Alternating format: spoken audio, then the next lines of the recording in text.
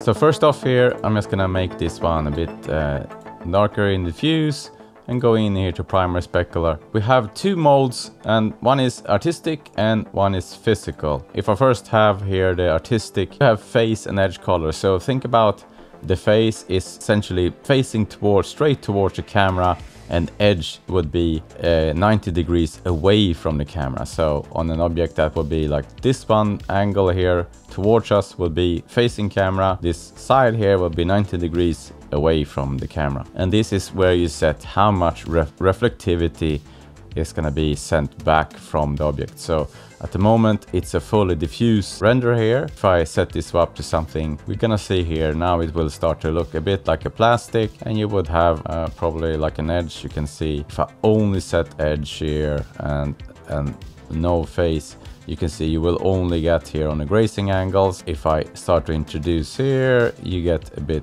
also here facing forward. This one, the Fresnel exponent is essentially by default at 5, but if you if you go it towards 0, it's gonna favor more of this color and if you set it back to here, it will favor more, yeah. So I don't really use this Fresnel exponent I think I've never used it to be honest. It's there.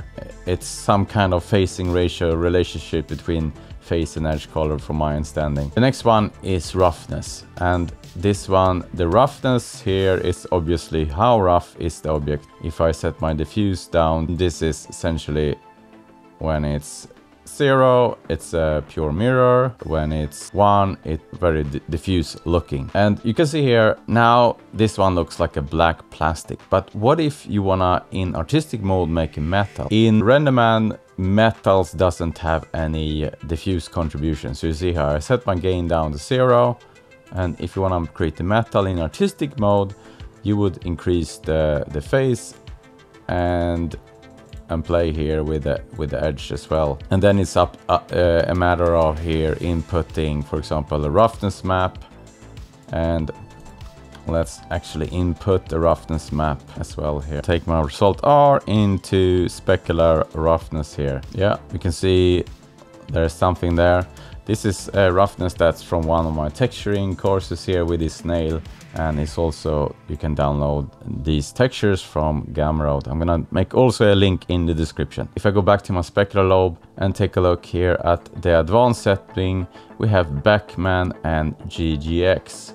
So what's that? The Beckmann is essentially what you wanna use if you have a pure, uh, essentially a pure reflection like this, like a super shiny object, chrome or something. When you start to have a bit of roughness, the GGX is better. If you look here, let's let's take a look at here 0.5 in roughness for example let's do that let's store this one and now I'm gonna flip this over into GGX and render the same. I'm gonna snap that one. And now let's go in here and compare. See here, this is Beckmann, this is GGX. You get a bit of blooming, a bit like a real object. So anytime you have roughness, set it to GGX. It, it, it will uh, help you a lot with realistic look. You get a bit of energy, essentially blooming that is really nice and that's usually something you see on real objects. Related to roughness is essentially anisotropy. So if I drag this one towards minus stream there, you can see you, you, you get streaking going up and down. If I set this one to cross, you can see now the streaking is goes in this direction. And this is essentially something you would mainly use also with a, um, a tangent field map. So I'm just gonna take a Pixar texture, hook this one up to a Pixar tangent field and going here to their page. I downloaded these images here and converted them to text files. So I'm gonna take this black and white map and apply this using a tile texture so we can see what tangent field can do, for example, to anisotropic. So I'm gonna browse here. This is what I set up. I have this map that is tiling across the object uh, using a, a Pixar texture and a manifold.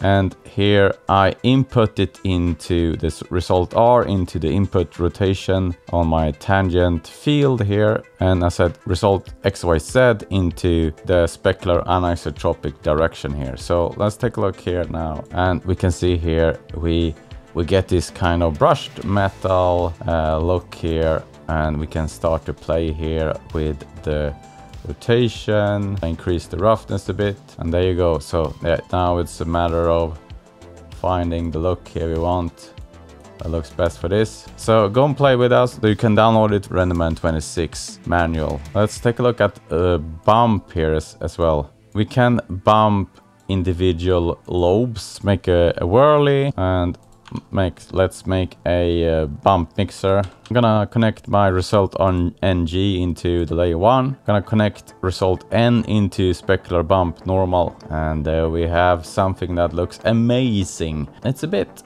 much. I'm gonna use my manifold to my manifold and hook it up and see what happens. It's a bit much here so let's take this down considerably and, and there we go.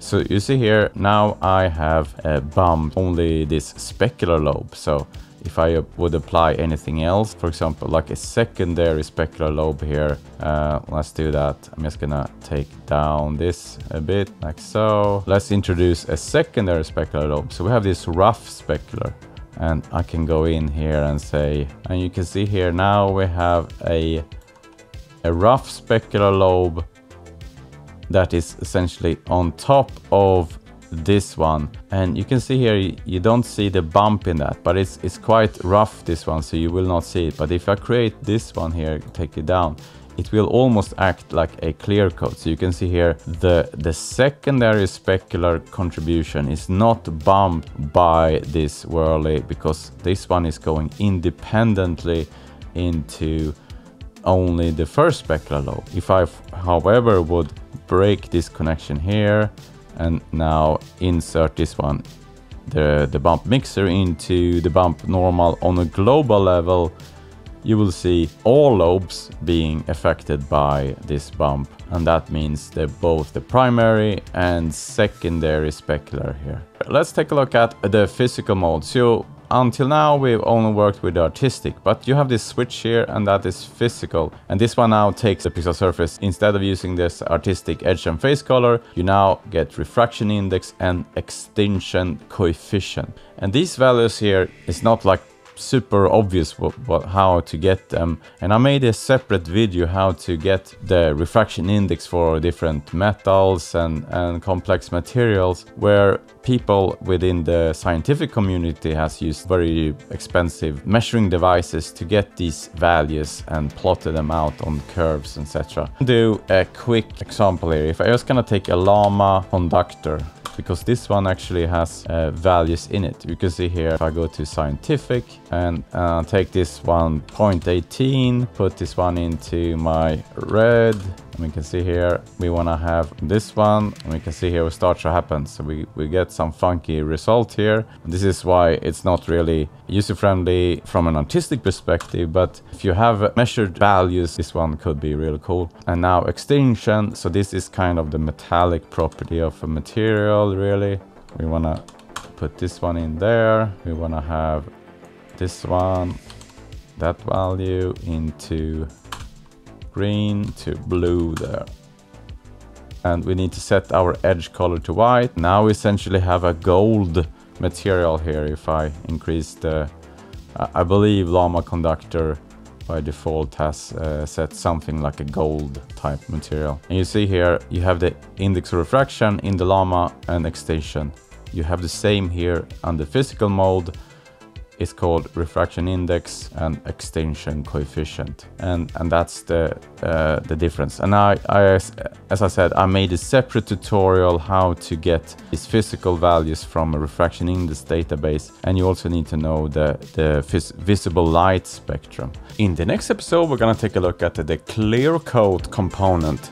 So if you want to support my channel consider subscribing and hit that bell notification. And why don't you leave a comment as well